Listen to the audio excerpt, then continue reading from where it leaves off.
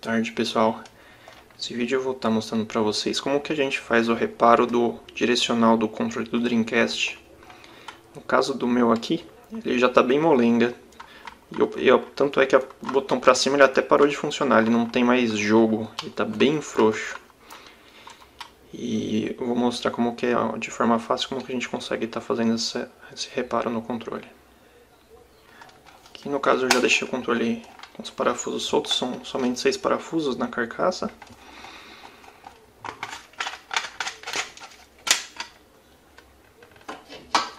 Aqui dentro a gente só solta esses dois parafusos superiores aqui para conseguir chegar ali até a, a plaquinha de contato.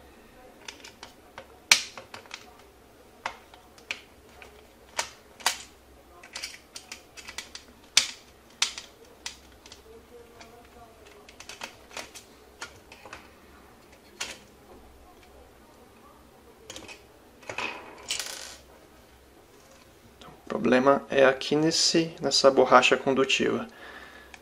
Aqui dá até para ver, o botão aqui da parte de cima ele está praticamente já rasgado, já está solto. Ele não está dando mais contato aqui com, com, com o direcional.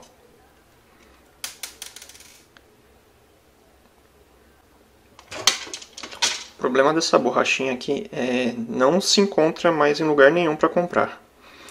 Já busquei Mercado Livre, eBay, AliExpress, simplesmente não existe mais essa borracha aqui em lugar nenhum para substituir ela. Aí o que, que a gente consegue fazer para reparar essa peça aqui? É, aqui em casa eu tinha um controle de PS2, aquele DualShock 2, ele tinha parado de funcionar. É, o que, que eu fiz? Eu desmontei ele e aqui no, na parte traseira dele, o, a parte de, dos botões de direcional é bem parecido com o do Dreamcast, quase idêntico, né?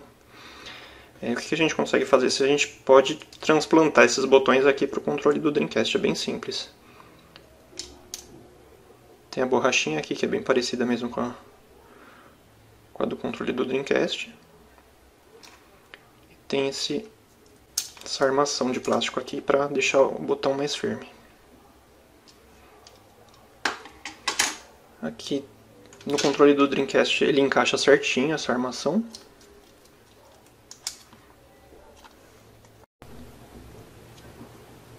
Aqui a gente coloca a borracha do controle do, do Playstation 2.